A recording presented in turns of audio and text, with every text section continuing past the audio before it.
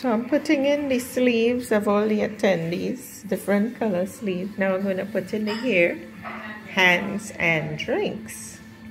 There's Aretha on the piano.